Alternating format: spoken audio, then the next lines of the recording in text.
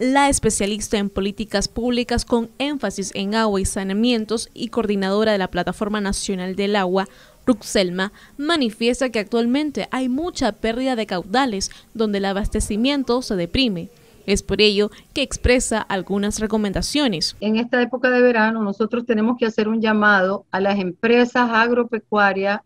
agroexportadoras,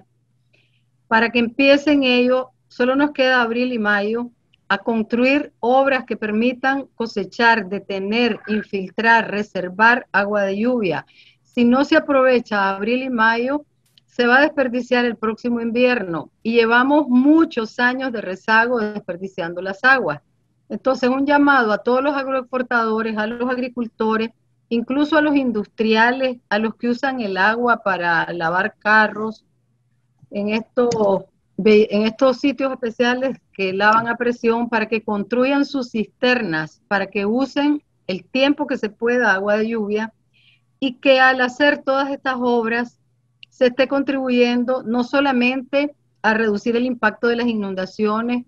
a reducir la pérdida de las aguas de lluvia que se van rápidamente a las quebradas, a los ríos y al mar, sino también infiltrar para que se recargue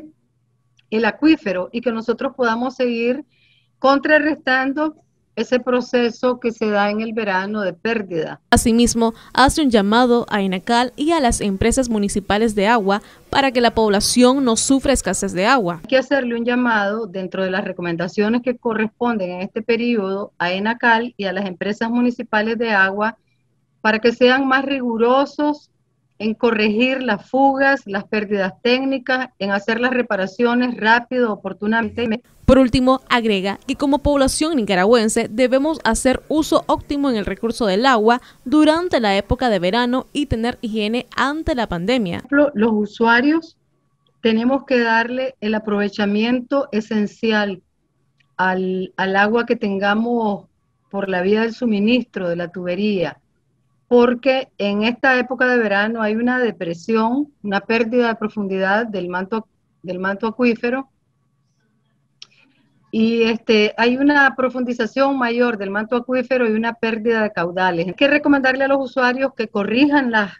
las fugas de agua que también tienen a lo interno de la casa, llaves que están botando, que están goteando, tuberías rotas.